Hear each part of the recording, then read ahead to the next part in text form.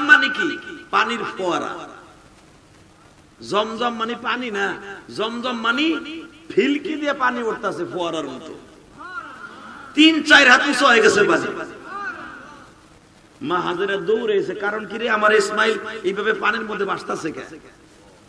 দৌড়াইয়ে এক হাত দিয়ে পোলারে কোলে নিছে, আর এক হাত দিয়ে পাথর দিয়ে বান দিতেছে। বাজানরা যদি মা হাজেরা বাদ না দিত, সারা পৃথিবীতে পানিতে ভরে যাইত। ঠিক না বে ঠিক? এ বাজার মা হাজেরা, ইসমাইলকে কোলে নিয়ে যখন পাথর দিয়ে বাদ দিতেছে, আমার আল্লাহ গাইবে আওয়াজ দিয়ে বলে, হাজেরা রে তোর স্বামী দোয়া করে গেছে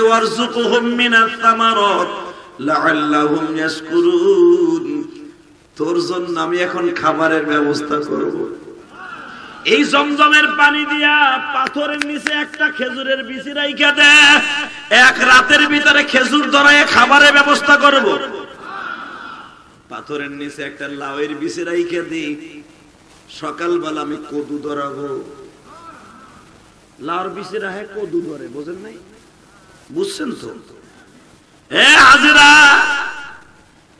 একটা আপেলের পাথরের নিচে রাইখা দে, সকাল হতে না হতে আপেল খাইতে পারবি। হাজার এটা তো স্বামীর দোয়া।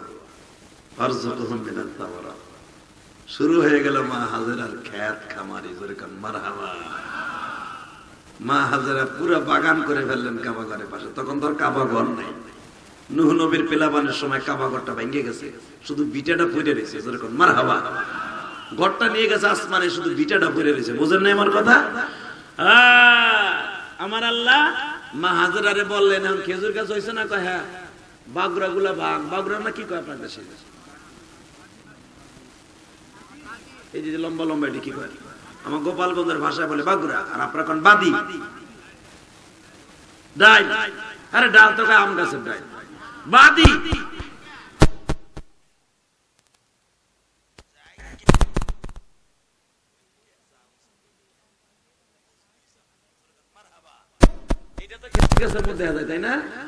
হ্যাঁ ডাল, মা এক রাতের ভিতর গাছ তো। কাইটা সুন্দর একটা ঘর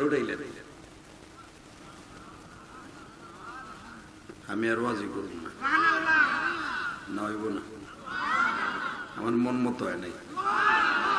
জন্নাতে লইব না। সুযোগ করে দিছে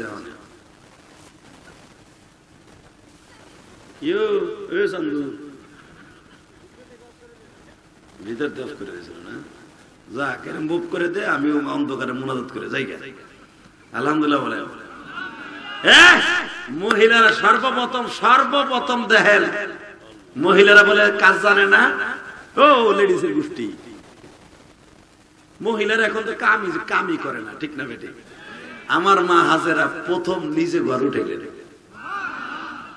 সেই ঘরের কথা কোরআনে আল্লাহ বলেন ফিহি আয়াতুম বাইয়িনা। মাকাম ইব্রাহিম। এই মাকাম ইব্রাহিম যেখানে গিলাস দিয়ে আটকানো, ওই জান্নাতি পাথর। ইব্রাহিম রাসূলের পায়ে দেয়া পাথর। এই পাথরটা জান্নাতে যাবে, আলহামদুলিল্লাহ বলেন। পাথরের মধ্যে কয়েকটা পাথর জান্নাতে যাবে। একটা হলো মাকাম ইব্রাহিম আর একটা হলো হজরে আসওয়াদ আর একটা হলো ইব্রাহিম আলাইহিস সালামের মুসা আলাইহিস সালামের এই হাতের ফুটা করা সেই আঙ্গি এবং আমার নবী যেই পাথরটাকে হাত দিয়ে ইশারা দিয়া পানি বের করছে, এরকম ছয় সাতটা পাথর ডাইরেক্ট জান্নাতে যাবে। তো এই পাথরটা জান্নাতি পাথর। ইব্রাহিম আলাইসাল্লাম আল্লাহ আকবার। এইখানে ঘর উঠাইলেন মা হাজেরা। ঘর উঠাইয়া পোলাডারে লইয়া নিদিবিলি বয়ে রয়েছে আহ, আল্লাহর কি কুদরাত? তিন মাস যাইতে না যাইতে দেহে পশু, পাখি, ভেড়া, বকরি, উট, মা হাজরার পাশ দিয়া বুনো হাতি, বুনা ছাগল, বুনা ভেড়া, বুনা দুম্বা পালকে পালাইতেছে। আরও জোরে। ছাগলে আয়া মা হাজারের সামনে ওলান্ডারে শেষরায় কইতেছে, মা, দুধ নেও। মা উঠে কইতেছে, আমার থেকে দুধ দহন করো। আল্লাহ সুমান লাদার আসতে কয়েক বাড়ি ঘর চিনো। বেড়ারে যাওয়ার আগে লুল্লা বানায় হেলাবা আল্লাহ নাওজুবিল্লাহ কোন সুমান আল্লাহ কইলি তো আলহামদুলিল্লাহ হয়ে গেল রেডি এ, উঠে আয়া কইতাছে, মা, আমার কাছে দুধ দহন করেন। মা আমার থেকে দুধ দহন দহন বোঝেন তো? তাই না বান থেকে বাইর করেন? মা, আপনিও খান, আপনি খান, জমা করে রেখে দেন। বিনিময়ে একটা কথা আছে, ওই জমজমের থেকে আমাকে একটু পানি দেন। তাহলে বোঝা গেল আল্লাহর অলির সাথে, নবীর বিবির সাথে কীট পতঙ্গ কথা বোঝে। ঠিক না বেটি? জোরে করে। সমস্ত ইমামের একই মত যে মা হাজেরার সাথে যে পশু পাখি কথা বলছিল, মা হাজেরার ভাষায় বলছিল। মারহাবা বলতে পারলেন না? এখন এই যারা বলেন মা হাজেরার ভাষায় কেন বলছিল, তারা দলিল দেয় আসাবে কাহাবের ওই কুত্তার ভাষা। কেন ভাষা কুত্তার ভাষা দেয়? কারণ এই কুকুরটা যখন আসাবে কাহাবের মধ্যে আসছে, এই কুকুরটার যখন মাইরে ফেলেন দিছিল কিতমিরে কিতমিরকে মাইরে ফেলেন দিছিল। কায়কাউস তারপরে মুকসুলমিনা তামলিখা সুনুনুস জুনুয়াস এই কায়কাতে কায়তানি কায়তানিনুসের এই কুত্তাটা ছিল। যখন তারা মারতে চাইছিল, তখন কুকুর ওই তাদের ভাষা দিয়ে বুঝাইতে চাইছিল। তোমরা তো এই দেশের মানুষ, আমার ভাষা বুঝবে না, আমার ভাষা তো কেউ কেউ কেউ। তোমাদের ভাষা না দিলে বুঝবে না, আমি তোমার ভাষায় আমার আল্লাহ করে দিছে। মনে রাখো আমার রব্বে কারিম বাসাই রাখতে কইছে, আমার মাইরো না, আমি তোমাদের মতো মুসলমান। এই দলিল দেয় যারা বলে, আসাবে কাহাবদের ওই কুকুরটার মতো দলিল দেয়, মক্কার সমস্ত কীট পতঙ্গ মা হাজারের সাথে কথা কয়। বাজানদের রেজেকের ব্যবস্থা করে দিলেন কে? খেজুর লাগাই দিলেন আমার আল্লাহ, পানির ব্যবস্থা করলেন আমার আল্লাহ, আপেলের ব্যবস্থা করলেন আমার আল্লাহ ওই গাছের ব্যবস্থা করলেন আমার আল্লাহ। গমের ব্যবস্থা করে দিলেন আমার আল্লাহ। দুধের ব্যবস্থা করে দিলেন আমার আল্লাহ। ওই আল্লাহ এখনও আছে না নাই? মা হাজিরা, মাত্র ছয় মাসের মাথায় দেখি বাবা, বিশাল বড় একটা কাফেলা বাক্কা শহরে এসে গেছি। দেখে এখানে পাখি উড়ে এই দৃশ্য দেখে তারা আর শাসিয়া দেখে। এত সুন্দর পানি, মিষ্টি পানি। একটা মহিলা ঘরের মধ্যে বইয়া রয়েছে বালতি হাতে লইয়া। তার পাশে হাজার হাজার ভেড়া, বকরি বইয়ে রয়েছে বাঘ ভাল্লুক বইয়ে রয়েছে তাদের কেউ ক্ষতি করতে আসলে তার টাঙ্গি ভাটায় ওই যে দোয়া করছে, আল্লাহ আমার বউরে আর আমার পোলারে দেখে রেখো। ইব্রাহিম দোয়া করছে, দেখে রাখতেছে কে? দারওয়ান বানাইতেছে সিংহরে। সিংহ হাতটার এইভাবে দিয়ে বয়ে থাকে জন আশি জনে কাফেলা আইতেছে, জীবনের প্রথম, মক্কার ভিতরে প্রথম যে কাফেলা আসছে, জুরহুম গোত্রের নেতা। নাম ছিল মালিক ইবনে আওস। এই ব্যক্তি প্রথমেই বাক্কা শহরে আসে দরকার মারহাবা। এই এই ছিল ইসমাইলের শ্বশুর। এই মালিক ইবনে আওস আশি জনে কাফেলা নিয়ে যখন বাক্কা শহরে ঢুকছে, তখন মক্কার নাম মক্কা মক্কার নাম বাক্কা। আইয়া দেখে বিশ্ব সুন্দরী একটা মা বয়ে রয়েছে একটা পোলা কোলে লইয়া।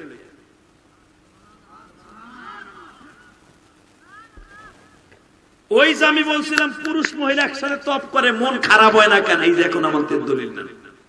আশি জনে কাফেলা আইছে, ওই জামানে কাফেলায় কোনো মহিলা দেখলে জোর করে এলো উঠে নিয়ে যায়, বিয়ে করার লেগে। মালিক এমনি আউস বলতেছে, মা মা, আপনি গহীন জঙ্গলে, এখানে একা একা কি করেন, মা? মা হাজারা বলে আফিদাতাম মিনান নাস, তাহবি ইলাইহিম ওয়ারযুকুহুম মিনাত থামারাত কোরআন শরীফের কথা আপনি ভাইবেন নামে গোপালগঞ্জ তা লয়েছি এই! ইব্রাহিম দোয়া করে রেখেছে আফিদাতা মিনান নাস আল্লাহ আমার স্ত্রী কেউ যদি জীবনে কেউ দেখে, সে যেন তারে কোন খারাপ নজরে না থাকে, সে যেন মান নজরে দেখে। আপনার আপনার বিবিডারে বিদেশ যাওয়ার সময় রাইখে যাবেন, সবাই যেন মান নজরে, বড় বোনের নজরে দেয়। জীবন আপনার বিবি খারাপ হবে না, কথা কর দেখে জোরে কয়। আরও জোরে। আপনারা এখানে যাওয়ার সময় কয়, বাইরে তোর বাবিডারে দেহে রাইস এই মুসলমানের বলা, ইব্রাহিম আলাইসালাম বলতেছে, মা হাজরা বলতেছে, আপনি কে? মা, আমি একটা কাফেলার সদস্য, মা। কি চান? আমাকে দুই বদ্দি পানি দিবেন, মা। আমাকে একটা লোক মরার টাইম হয়ে গেছে, একটু পানি খাও মা হাজরা বলে, এই কুয়ার মালিক আমি না। আমার এই কুয়ার মালিক হলো আমার ইসমাইল এক বছরের পোলা। জোরে। জোরে। ওই কুয়ার পানি খাইতে মন চায় না, এখন রেডি হন, অন্তরটা রেডি করেন যে আমিও খাব তারা যদি সাত হাজার, তারা যদি একশো বিশ কিলোমিটার দূর থেকে খাইতে পারে, আমিও সাড়ে ছয় হাজার কিলোমিটার দূর থেকে যে খাব ইনশাল্লাহ বলেন। নিয়ত আছে তো? রেডি হন এখন। এ মা, আপনিও রেডি হন। মা হাজারা প্রথম যদি জমজম খাইতে পারে, আপনিও খাইতে পারবেন। রেডি হন, মনকে রেডি করে রেডি রেডি মা হাজারা বলেন এই জমজম কুয়ার পানির মালিক আমি না মালিক হলো আমার সন্তান ইসমাইল وإذ يرفع إبراهيم القواعد من البيت وإسماعيل আমার এই পোলা ইসমাইল ইসমাইল লে যাই আমরা জড়াই ধরছি ভাই আমরা একবার না পানি নেই ইসমাইল বলে, নিতে হলে পয়সা দিতে হবে। এটা আমার মায়ের কষ্টের কুয়া। এই জন্য দেখবেন, জমজমের পানি বাংলাদেশে আনতে হলে টাকা খরচ হয়। কথা কন না হাজিরা খাবে মাগ না হোটেলে নিয়ে খাবে মাগ না মক্কা মদিনে যত চাবেন, খাইতে পারবেন। দেশে আনতে হলে পয়সা লাগবে। আপনার এক গিলান পানি বিমানে আসে, জানেন কত টাকা নেয়? বাংলাদেশের এই দেশের পাঁচ হাজার টাকা নেয়, এক পাঁচ লিটার পানি এই দেশে আসবে। আলহামদুলিল্লাহ বলেন না? হ্যাঁ। বাজারে যখন ওই কাফেলার মালিক মালিক আপনি আওয়াজ বললেন ওমা যখন দেখছে এটা মিষ্টি পানি, আমরা আর এখান থেকে যাব না। মা আপনার সদস্য হয়ে যাব। ওই যে যে দোয়া করছে আপনি দাতাম মিনান নাস। আল্লাহ, কোনদিন যদি এই দেশে শহর হয়, কোন মানুষ আসে, আমার বিবির সাথে প্রেম প্রীতি, ভালোবাসা যেন না করে, তাদের সাথে মায়ের সম্পর্ক করায় দিও। আল্লাহ আকবার, জোরে বলা। বাজান আশি জন গোত্র আর তারা গেল না। স্ত্রী পুত্র নিয়ে আইসা বাড়ি ঘর বানায় ফেললু। ইসমাইল সাল্লাম বড় হইতাছে, চার বছর বয়স। বাজান চার বছরে মনে হইতাছে, ইসমাইলের বয়স বারো বছর। আরও জোরে কর বারো বছরের মতো পোলা বড়। কারণ নবীদেরকে আল্লাহ খুব দ্রুত বড় করছে, এটা কোরআন শরীফের কথা। মারহাবা বলতে পারলেন না? ইসমাইল সালাম চার বছর মতো বয়স মনে হয় বারো বছরে বলা হাই কি জান্নাতি যুব হঠাৎ করে আল্লাহ বলে, ইব্রাহিম রে এটা কাজ কর, কি? ইসমাইল একটু দেখে যা।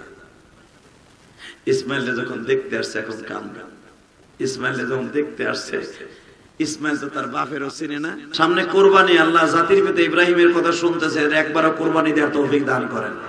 সবাই কোরবানি গুলো কবুল করেন। ইনশাল্লাহ যারা বসে আছেন, এরা জান্নাতি। একবার হলো মক্কা মদিনা যাইতে পারবেন ইনশাল্লাহ দিলটাকে নরম করেন, যদি কোন হুজুর, কেমনে যাব? টাকা নাই, পয়সা নাই, কেন? ওই রাখাল যদি যাইতে পারে জাহাজে, আপনিও যাইতে পারবেন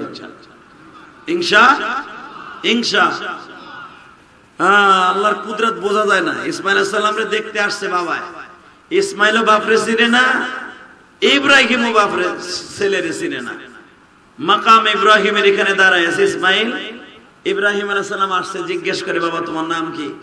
আমার মার নিষেধ আছে, আমার নাম বলতে হলে আমার মার কাছে জিগাইতে আল্লাহর কি কুদরত ওদিন মা হাজারা বাসায় নাই, দাওয়াত তাবলিগের কাজ করতে পাহাড়ে গেছে, মহল্লায় গেছে। আরে আল্লাহ, যখন জিজ্ঞেস করছে, বাবা, তোমার নাম কি? কয়, মার কাছে জিজ্ঞেস করে আসে। ইসমাইল দৌড়ে গেছে, মা, ও মা, একটা বুড়া বৃদ্ধ লোক আইছে, চেহারা আমার মতো। আল্লাহ বললেন না। মা, আমার মতো একটা চেহারার মানুষ আসছে কাবাগরের কাছে, মা। ও মা, লোকটার সব বন্ধু বান্ধব বলে তোর মতো চেহারা। ইসমাইল আমাদের মন কেন জানো বলে এই লোকটাই হবে তোমার বাবা। মা, তুমি যদি একটু আসতা, লোকটা বারবার আমার নাম জিজ্ঞেস করে, মা, হাজেরা দৌড়ে আসিয়াই দেখে আল্লাহর পয়গম্বর। বাজারে ঘরের মধ্যে বসাইয়া মনের আনন্দে কিছু কথা বলবে। কিন্তু বাজান ইব্রাহিম বলে, নারে বিবি না, ঘরের মধ্যে ঢোকার পারমিশন নাই।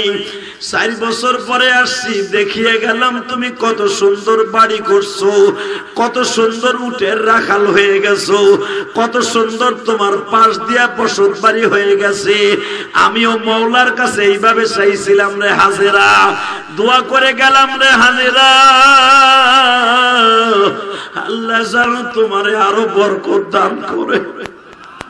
হাজেরা, যাদের বাড়ি ঘর দেখতাছি, তারা কি তোমার সাথে দুর্ব্যবহার করছে?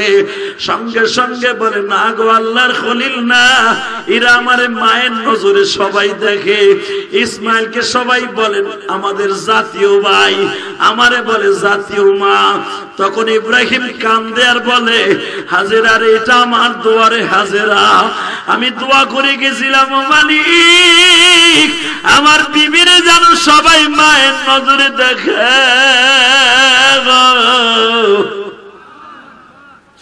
বাজান, এবার চোখের পানিতে আমার আল্লাহরে খুশি কইর। ইব্রাহিম আলাইসালামের কলিজার টুকরা সন্তান ইসমাইল বিবাহ করলেন। আল্লাহ আকবার, জোরে বলেন। যখন বিয়া করছে গো বাবা, ওই বনি জোহরা গোত্রের বনি সাকিম গোত্রের নয়। বনি জহুরা গোত্রের মালিক ইবনে আউসের মেয়ে বিয়া করছে। দেখতে খুব সুন্দরী বাবা। পৃথিবীর বিশ্ব সুন্দরী মালিক ইবনে আউসের মেয়ে। বাবার কাছে চিঠি লেখছে, আব্বা, আপনি আমার ইথারের মাধ্যমে বলছিলেন বিয়ে করার কথা, বিয়ে করে লাইছে, আলহামদুলিল্লাহ বলেন। আমার মা আমার বিয়ে করাই দিছে। আপনি তো কাবা ঘর বানায় গেছেন। এই কাবা ঘরের ইমাম এখন আমি। সবাই কাবা ঘরের ইমাম বানাই দিছে আমারে। আব্বা, মা আমারে ধৈর্য এই দেশের প্রেসিডেন্টের মাইয়া বিয়ে করাই দিছে। আব্বা, যদি আপনি একটু আইসে আমার বোর্ডে দেখে যাইতেন। ইব্রাহিম সালাম বলে, বাপরে, দিন ক্ষণ তারিখ গুইনা আমি আসতে পারব না। তবে একটা কথা বলে যাই কি যে কোনো মুহূর্তে আমি আসব। দোয়া করো। ঠিকই একদিন ইব্রাহিম আয়া পড়ছে পুত্র বধূ দেহার লেগে। আল্লাহর কি কুদরত? ইসমাইল ওই যাত্রায় চলে গেছে এমানে, ব্যবসার কাজে। টাইমে বিবি হাজেরাও, অর্থাৎ মা হাজেরাও পাইতে নাই, ইসমাইলও নাই, ঘরের মধ্যে প্রেসিডেন্টের মাইয়া বসা। এরকম বউ আমাকে সমাজে আছে না নাই? শ্বশুরে চাইরে না দিও খেতায় না? শ্বশুরে কয়, বুড়া বেড়া তোরে দেহে বিয়া বইছি আমি বিয়া বসি তোর পোলা দেহে। কথা কবি, তোরে ঘর ভাই গেলাম ঠিক না বে ঠিক মারে তুমি আজকে তোমার শ্বশুর শাশুড়ির সাথে খারাপ ব্যবহার করলা, আল্লাহর কসম করে বললাম। তুমি একদিন শ্বশুর শাশুড়ি হইবা। সেদিন তোমারে গার তুমি তো কইবা গার ভাঙ্গা লাভা খালি কইবা, আর তোমার ঠিকই গার ভাঙবো। কথা ঠিক না ঠিক বিশ্বাস করেন, আল্লাহর জাতের কসম করে বলে দিয়ে যায়, আজকের একটা ঘটনা আমার বিবি আমারে শুনাইলো। আমাকে দেশের ঘটনা গোপালগঞ্জের। আল্লাহর এক বান্দা তার বউডারে খুব ভালোবাসত। আমার আত্মীয় হয়, নাম কমুনা। বউরে অনেক ভালোবাসত, বিদেশ করে এসে কয়েক বছর। এই সুন্দরী বউ প্রতিদিন তার শাশুড়িরে মারতে যাইতে। হ্যাঁ আপনার বউর কাছে যে কই? শাশুড়ি মারলে তো আপনার ভালো লাগবে, তাই না? এই মুসলমানের পোলা, ভালো করে বুঝো। ভালো করে বুঝো। প্রতিদিন মারতে যাইতো, আজকে খালি মারতে যাই নাই লাতি দিয়ে আল্লাহর জাতের কাছে করে বলে, হুজুর, আব্দুর রশিদ সাহেব, যেই পাও দিয়ে লাথি দিছে, ওই পাওটা আজকে কাটা লাগছে। আমার কানে আজকে খবর আইছে, আমারে ফোন দিছে, ভাই, একটু দোয়া করিস, আমার অনেক বয়সে বড়, একটু দোয়া করিস, কে? তোর ভাবির পাওটা আজকে কাইটে ফেলার লাগল। আমি কইলাম মাথায় কিছু ধরে না। আমি সাথে সাথে বসে রয়েছি। পাওটা কাইটে ফেলার লাগল কয়টা দুইটা, তিনটা ছেলে মেয়ের মা। পাও কাটা লাগল কেন? সাথে সাথে আমার ওয়াইফ বলতেছে, আপনি খবর জানেন না? আমি বললাম, না তো। বলে, তাহলে তো আপনার গ্রামের বাড়ি যান নাই শোনেন নাই। আসলে ঘটনা কি জানেন? আজকে পাওটা কাটা লাগছে। সে আপনার শাশিরে লাথি দিছিল। মা, আমি আপনাদের আজকে বলে দিয়ে গেলাম, আল্লাহর কসম করে কেন বললাম? শাশুড়ি লাতি দিয়ে আজকে পাউডা কাটা লাগছে। মা, যারা আমার ওয়াজ শুনতে আসছেন, জীবনে কোনোদিন শাশুড়ির সাথে দুর্ব্যবহার করেন না। শাশুড়ির মা যাই নেন, আর শাশুড়িদেরকে বলব, আপনি আপনার বউটা, পুত্র বধূটারে, আপনি নিজের মেয়ের মতো যাই নেন, আপনাদের ফ্যামিলিটা জান্নাতের টুকরা হবে। ঠিক না বে ঠিক? এই, ঠিক না বে ঠিক? ইব্রাহিম আসছে। পোলাও বাইতে নাই, শাশুড়িও বাইতে নাই। আইয়ে ডাক দিছে, ঘরের মধ্যে কারা গো? ইসমাইল আছেন নাকি? ঘরের মধ্যে থেকে কর্কশ ভাষা আওয়াজ দিছে, আপনি কে?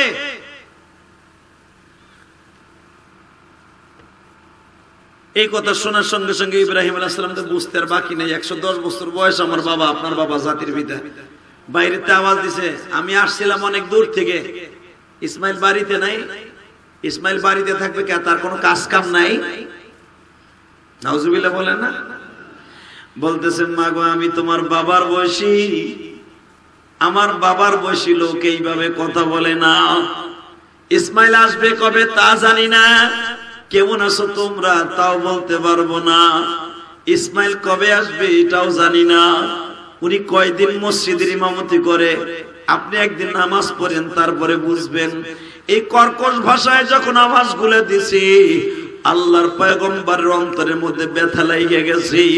সঙ্গে সঙ্গে বলে গেছে, ও আল্লাহর বান্দি, ইসমাইল যখন বাসায় আসবি, তারে বলে দিবা, ঘরটা অনেক সুন্দর, তোমার শাশুড়ি আর তোমার স্বামী মিলে করছি। কিন্তু ঘরের চৌকাটটা যে লাগাইছে, ঘরের চৌকাটটা সুন্দর না, যেন অতি দ্রুত পাল্টাইয়া ফেলা এবার মনে রাখবেন, কোন নবী যদি কোন জায়গা দিয়ে, কোন রাস্তা দিয়ে যায়, পাহাড়ে ভুলিয়া দেয়, এই জায়গা দিয়ে নবী গেছে। আল্লাহর পয়গম্বর ইসমাইল যখন ইয়ামান থেকে আসছে, জাবালে কাবায় বলে দিচ্ছে, ইব্রাহিম আসছিল। জোরে জোরে জোরে জোরে। জাবালে সাফায় বলে দিচ্ছে, ইসমাইল রে, তোমার বাবা আসছিল। আল্লাহর পায়গম্বর ইসমাইল খুব দ্রুত দৌড়ে আসছি। আমার বাবাই কই গো? আমার জনম দুঃখ মিয়া বাবা কই গো? আমার বাবা কই গো বাবা?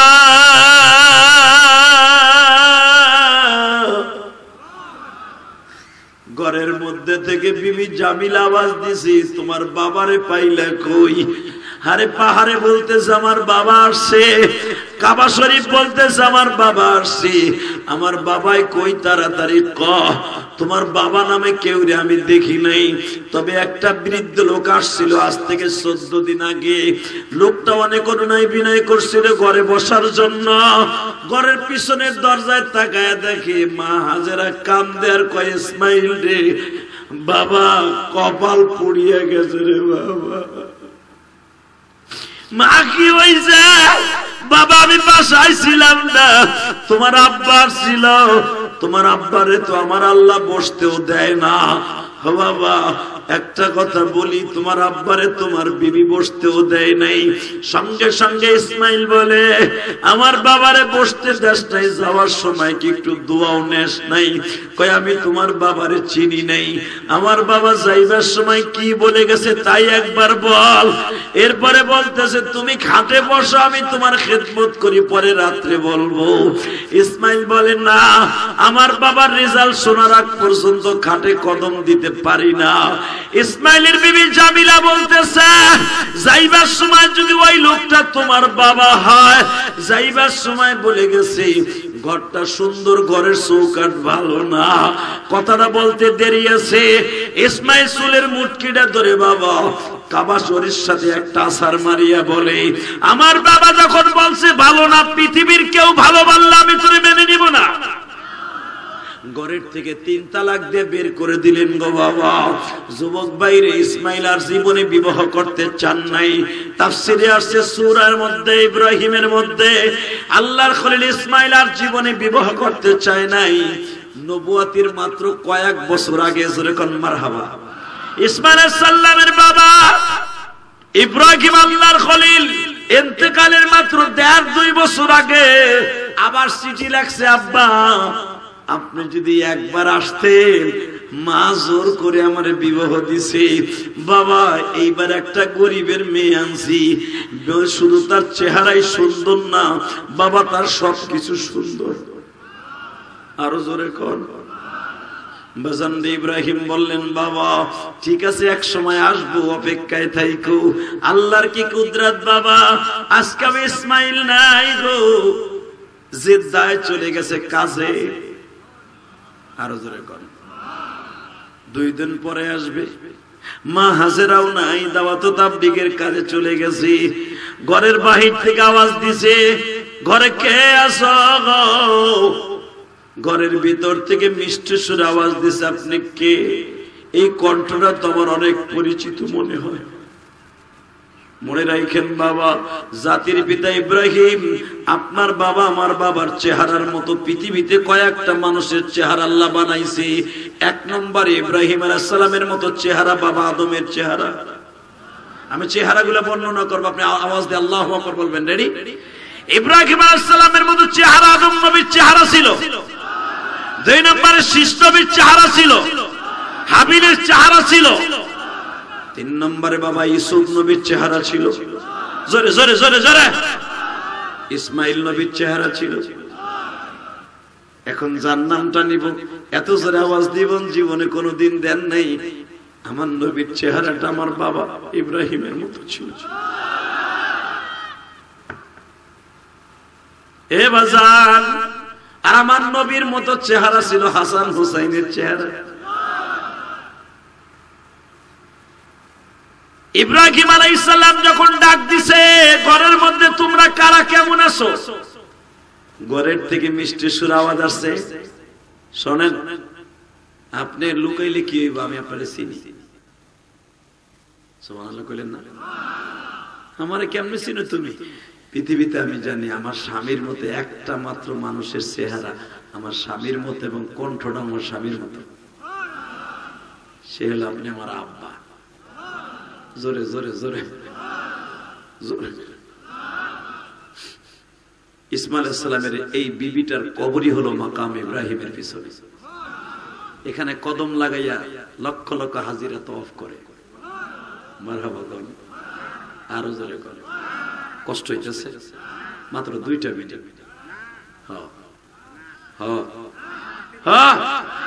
আরে আগামীকালকে আমার রংপুর মাহফিল। দেড় ঘণ্টা হয়ে গেছে, নয়টায় উঠছি এখন সাড়ে দশটা বাজে। আরে রাখো, চুপ মারা বাগন আওয়াজ দিবেন, একটু বাড়বে।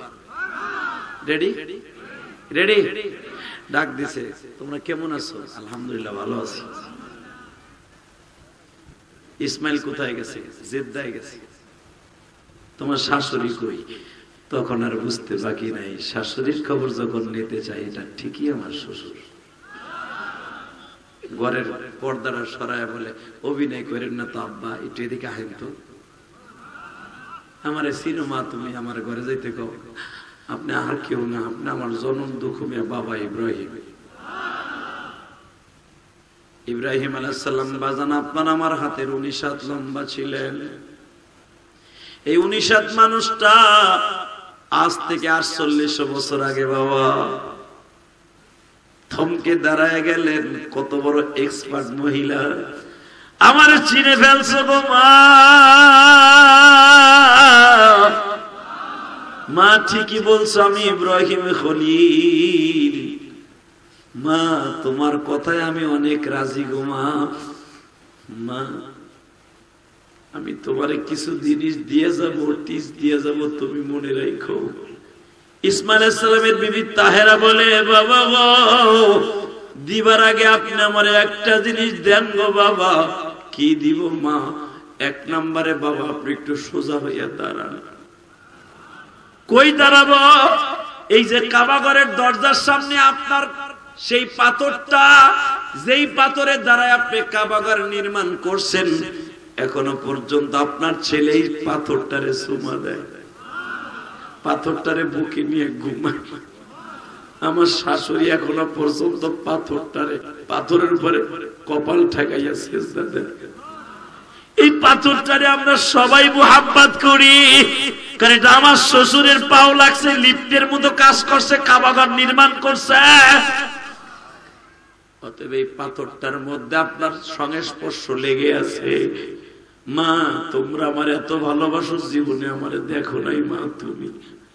আব্বাই পাথরের পরে আপনি দাঁড়াবেন, আর কেউ দাঁড়াবার শক্তি নাই।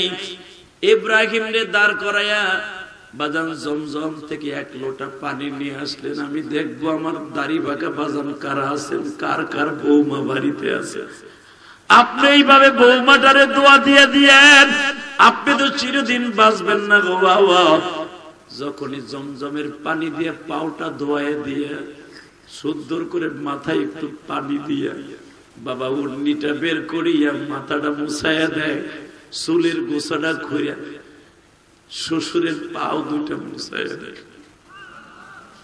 এইরকম পুত্রবধূ যদি সারা পৃথিবীতে হয়ে যাইত, বাবা, ওই ফ্যামিলিটা একটা জান্নাতের টুকরা হয়ে যাইত।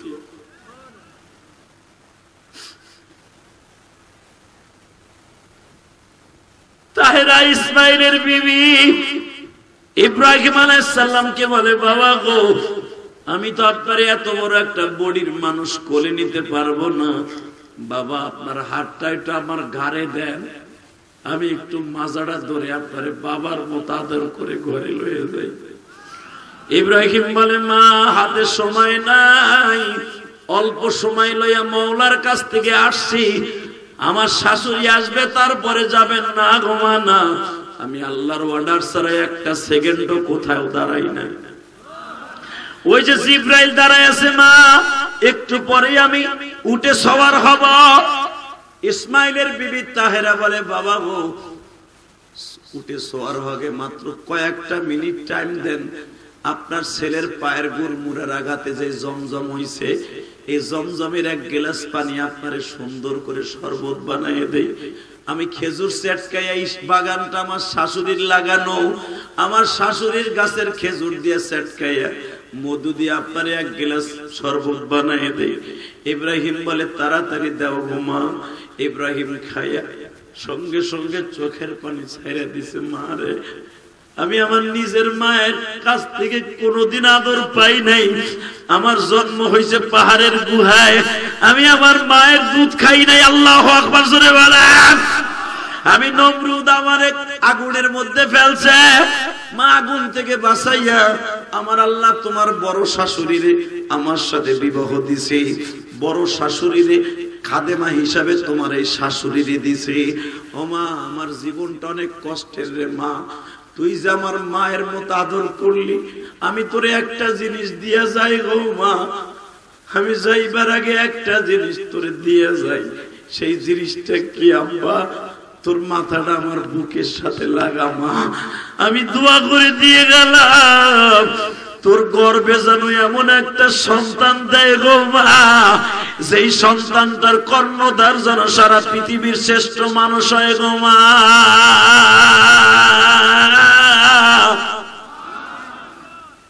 বাজান, শ্বশুরের দোয়া। এমন সন্তান তার ঔরসে দান করছে, যার ঔরসে জন্ম নিছে আমার এতিম নবী। জোরে জোরে জোরে জোরে। ইসমাইলের সন্তান হলো আমার নবী। আরও জোরে। ইসাক আলাহিসাল্লাম থেকে লক্ষাধিক নবী দুনিয়া আসছে। ইসাক নবীর থেকে। ইসাকও কিন্তু ইব্রাহিম আলাহিসামের সন্তান।